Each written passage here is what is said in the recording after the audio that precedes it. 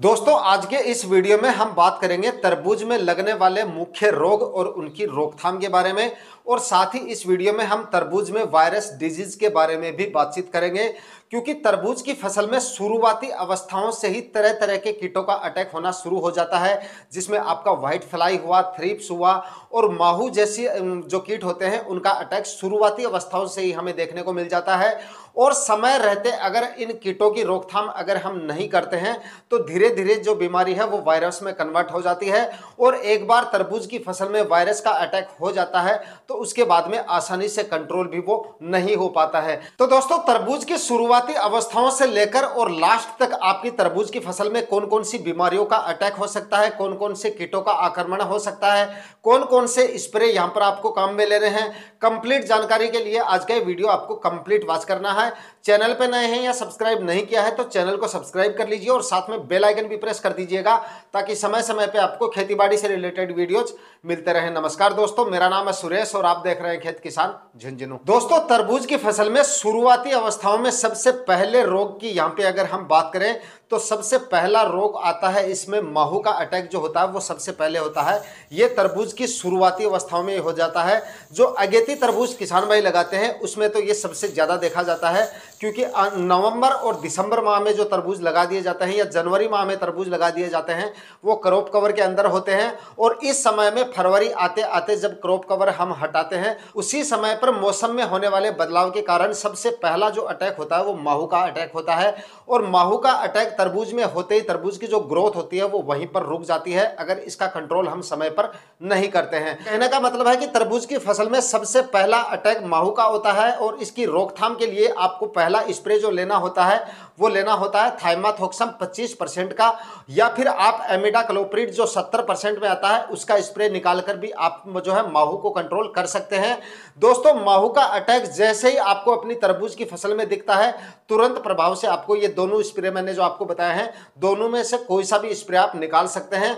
ये स्प्रे अगर आप समय पर नहीं निकालते हैं तो माहू का प्रकोप आपकी तरबूज की फ़सल में इतना ज़्यादा बढ़ जाता है कि तरबूज की ग्रोथ जो है, वो वहीं पर रुक जाती है ग्रोथ आगे प्लांट नहीं कर पाता है।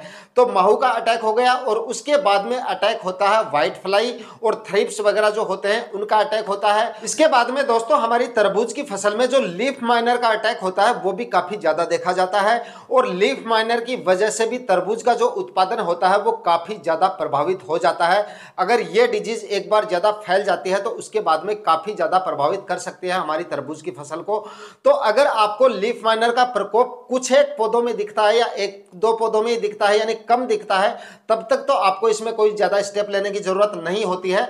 लेकिन अगर आपको बीमारी बढ़ती हुई दिखे, यानी कि लीफ माइनर का प्रकोप आपकी तरबूज की फ़सल में बहुत ज़्यादा देखने को मिले, तब आपको यहाँ पर जो है डो एग्रो का डेलीगेट नाम से इंसेक्टिसाइड आता है जिसके अंदर स्पाइनाटोर्म होता है ग्यारह पॉइंट सात परसेंट इसका आपको इस्तेमाल कर लेना है। दोस्तों डेलीगेट लीफ माइनर के लिए काफ़ी अच्छा इंसेक्टिसाइड है, आप इसका इस्तेमाल कर सकते हैं। और उसके बाद में अगला जो अटैक होता है तरबूज की फ़सल में, वो सुंडी का जो अटैक होता है, वो भी काफ़ी ज़्यादा देखा जाता है। शुरुआती अवस्थाओं में सुंडी क्या करती है? सबसे पहले पत्तों को खाना शुरू कर देती है और उसके बाद में धीरे धीरे वो बढ़ती जाती है और उसके बाद में फलों को भी जो है, वो काफ़ी ज़्यादा प्रभावित करना शुरू कर देती है। हालाँकि तरबूज का जो फल होता है, उसका ऊपर का जो भाग होता है, वो काफ़ी हार्ड होता है। वो अंदर तक तो नहीं पहुँच पाती, ज़्यादा नुकसान तो नहीं कर पाती है, लेकिन छिलके को ऊपर से कुरेद कर और उसके बाद में तरबूज की जो सेफ़ होती है वो बिल्कुल खराब हो जाती है।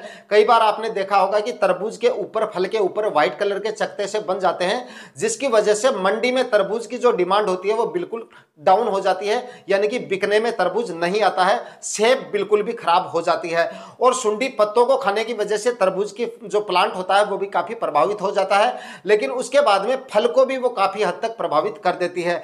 तो अगर आपकी तरबूज की फ़सल में सुंडी का भी अटैक आपको देखने को मिल रहा है तो यहाँ पर आप एमामैक्टिन बेंजोइड का इस्तेमाल कर सकते हैं। दोस्तों, एमामैक्टिन बेंजोइड को आप आठ से लेकर दस ग्राम प्रति पंद्रह लीटर स्प्रे टैंक के हिसाब से आप इस्तेमाल कर सकते हैं। और अगर आपकी तरबूज की फ़सल में थ्रिप्स या व्हाइट फ्लाई और रस चूसने वाले कीटों का प्रकोप है, और इसके साथ ही सुंडी का भी प्रकोप आपको देख रहा है तो आपको अलग अलग स्प्रे लेने की ज़रूरत नहीं पड़ेगी। यहाँ पर आपको जो है सिजेंटा कंपनी का एलिका नाम से इंसेक्टिसाइड आता है, वो आप काम में ले सकते हैं, जिसके अंदर थाइमाथोक्सम और लैमडा साइक्लोथ्रीन होता है, जिसकी वजह से आपकी तरबूज की फ़सल से जो है रस चूसने वाले जो कीट हैं, जैसे व्हाइट फ्लाई और थ्रिप्स वगैरह हैं, या माहू वगैरह हैं, इस तरह की बीमारी का भी कंट्रोल हो जाएगा। और साथ में अगर सुंडी का प्रकोप आपकी तरबूज की फ़सल में देखने को मिल रहा है तो आपको वो भी कंट्रोल इसी से हो जाएगा।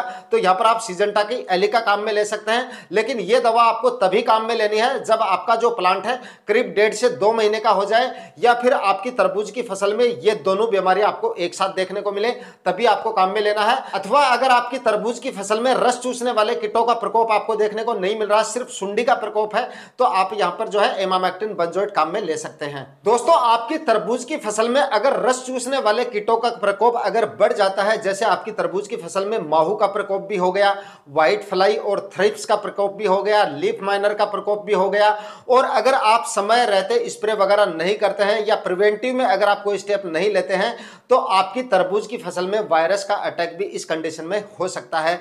और अगर एक बार आपकी तरबूज की फ़सल में वायरस का अटैक हो जाता है तो उसके बाद में आपके पास कोई भी ऑप्शन नहीं बचता है, केवल प्लांट को उखाड़ कर बाहर फेंकना पड़ता है। या आप ये कह सकते हैं कि तरबूज की फ़सल में अगर वायरस का अटैक हो जाता है, यानी कि मोजेक वायरस जैसे बीमारियाँ हैं, वो अगर आ जाती हैं तो उसके बाद में आसानी से वो कंट्रोल नहीं होती हैं। तो इसके लिए आपको क्या करना है? शुरुआती अवस्थाओं में ही।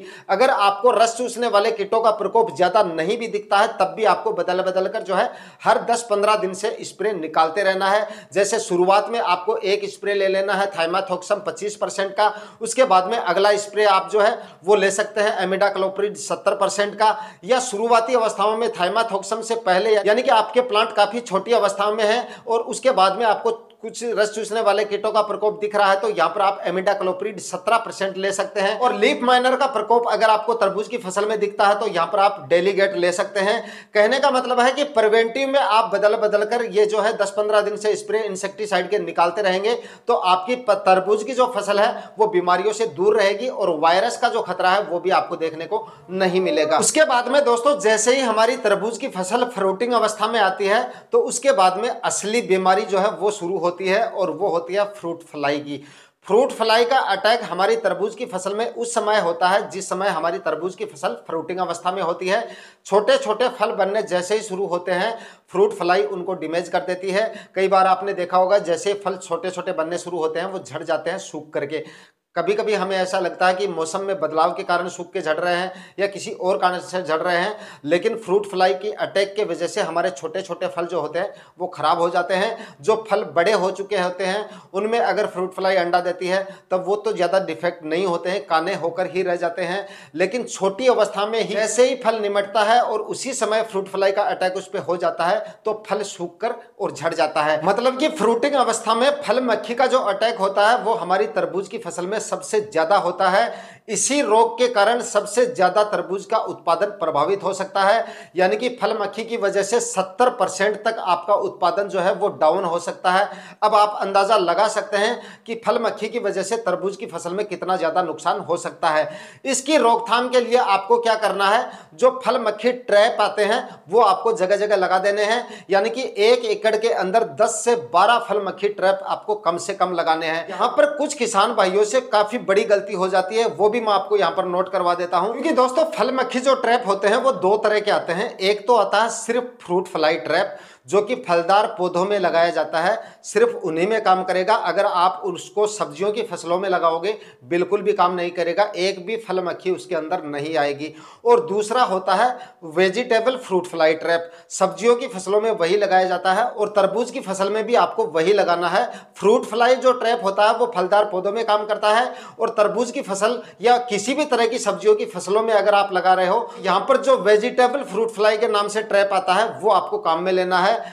कई बार काफ़ी किसान भाई गलती कर देते हैं। सब्जियों की फ़सलों में जो फ्रूट फ्लाई ट्रैप होता है, जो फलदार पौधों में लगाया जाता है, वो लगा लेते हैं और उसके बाद में रिज़ल्ट उनको नहीं मिलता है।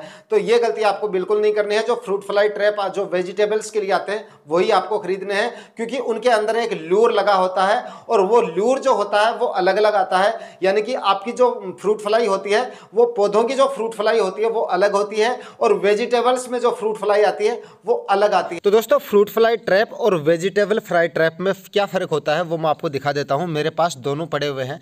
ये देखिए, ये है हमारा फ्रूट फ्लाई ट्रैप, जो कि जो फलदार पौधे होते हैं, उनमें लगाया जाता है। जैसे मौसमी वगैरह के जो प्लांट्स होते हैं, उनकी जो फ्रूट फ्लाई होती है, वो किस, इस तरह की होती है। उसमें ये लगाया जाता है, जिसमें साफ़ साफ़ लिखा हुआ है फ्रूट फ्लाई ट्रैप। और जो वेजिटेबल्स में लगाया जाता है, वो ये होता है, जिस पे साफ़ साफ़ लिखा है, वेजिटेबल्स फ्राई ट्रैप। ये देखिए आप, ये इस तरह का होता है। बाकी इन डब्बों से कोई मतलब नहीं होता है, डिब्बे चाहे कोई से भी हो मतलब होता है इसके अंदर जो लूर होता है हमारा, उससे मतलब होता है। ये दिखने में महज एक लकड़ी का टुकड़ा आपको दिख रहा होगा, लेकिन ये पलाई का टुकड़ा है जिसको लूर के अंदर डुबो के निकाला जाता है। उसके बाद में लूर की स्माइल इसके अंदर रह जाती है और इसी स्माइल के कारण फ्रूट फ्लाई जो होती है, वो आकर्षक होकर और इसके अंदर आ जाती है। ये लगाया जाता है, ये अलग अलग आते हैं मतलब डब्बे चाहे कोई से भी हो, मेरे पास ये डब्बा पड़ा, मैं इसके अंदर लूर लगा दूँगा तो ये वेजिटेबल वेजिटेबल्स वाला बन जाएगा। बाकी ये लूर जो होता है, पहली बार जब मैंने मंगवाया था, ये पुराना दिख रहा होगा आपको तो ऑनलाइन मैंने मंगवाया था ऑनलाइन कंपनी वालों ने इस तरह का भेज दिया था, फिर मैंने इसको चेंज करवाया। ये लूर जो था, ये मैंने मंगवा लिया। बाकी ये डब्बे चार पाँच साल से चल रहे हैं। लूर हम हर साल इनका मंगवा लेते हैं, डब्बे वही रहते हैं। और ये देखिए, जो लूर होता है, वो कुछ इस तरह का आता है। जब पैकिंग में आप खरीदोगे तो लूर पे भी साफ़ साफ़ लिखा होगा वेजिटेबल फ्राई लूर। साफ़ साफ़ लिखाना तो इस तरह का आप फ़र्क थोड़ा देखकर और उसके बाद खरीदेंगे तो आपको बेहतर रिज़ल्ट मिलेंगे, यानी अच्छे रिज़ल्ट मिलेंगे। तो कहने का मतलब है कि आपको अपनी तरबूज की फ़सल में जब भी आप फ्रूट फ्लाई ट्रैप खरीदो तो वेजिटेबल फ्रूट फ्लाई जो ट्रैप आते हैं, वही आपको खरीदने हैं, वही आपको काम में लेने हैं। ये ट्रैप अगर आप दस से बारह प्रति एकड़ के हिसाब से आप लगाओगे तो फ्रूट फ्लाई का जो अटैक है आपकी तरबूज की फ़सल से काफ़ी हद तक कंट्रोल हो जाएगा। आज के वीडियो में दी गई जानकारी इंफॉर्मेटिव लगी तो वीडियो को लाइक शेयर कर दीजिएगा। चैनल पर नए तो सब्सक्राइब ज़रूर कर लीजिएगा। मिलते हैं किसी नए वीडियो में नए टॉपिक के साथ। तब तक के लिए जय हिंद।